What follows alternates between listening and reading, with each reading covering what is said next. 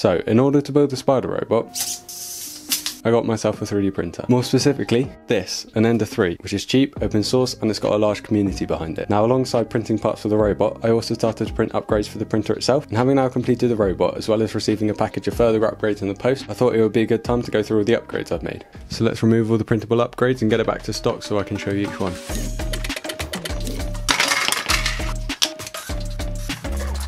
So the first upgrade I printed was a screen cover as the Ender 3's LCD can be way too bright if you keep the printer in your bedroom. So this just nicely covers the screen and also protects my eyeballs. Just to mention you can find links to all the STLs and parts down in the description. Now the next print was a shroud for the board fan. The opening for the fan is placed directly underneath the bed, meaning small bits of filament could easily fall in, so this shroud just covers it up.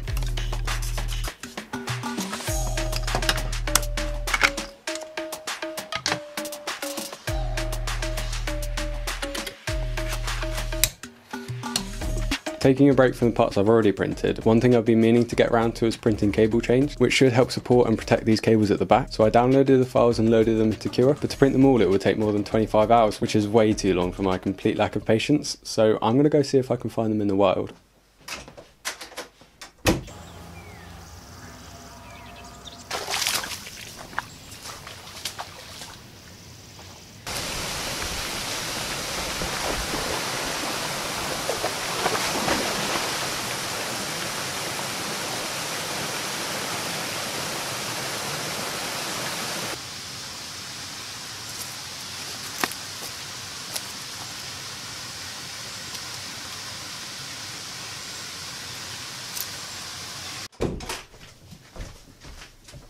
That was easy. Hang on, give me one second.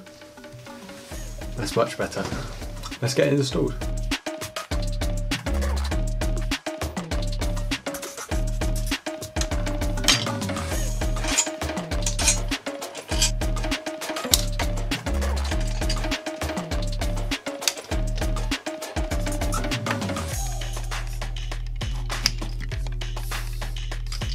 So this part helps guide the filament into the extruder at a better angle, but I found that the extruder filament is still pulled sharply, which could potentially cause failure. So I found a guide for near the extruder, and I'll just print that now.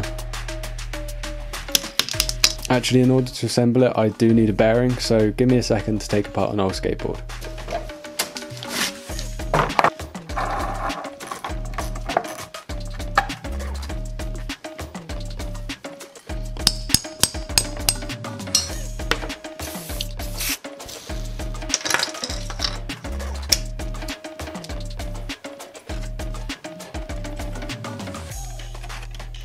And there you go, much better. So I guess now it's time to open up this box and get started with the non-printable upgrades.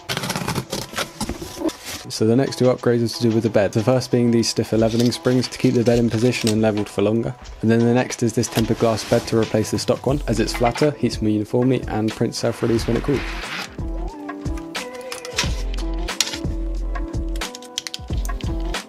So the next two upgrades are a full metal extruder, which is more durable than the stock plastic one,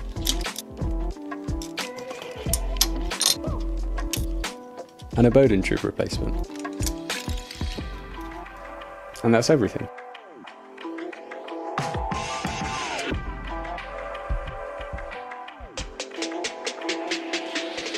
Now I'm sure that's not the end of the upgrades to the Ender 3. I'm already thinking of getting a BL Touch, converting it to direct drive and all sorts of things. But anyway, that's all for this video, so let me know in the comments what you want me to make next. In the meantime, go watch this. Thanks for watching and I'll see you next time.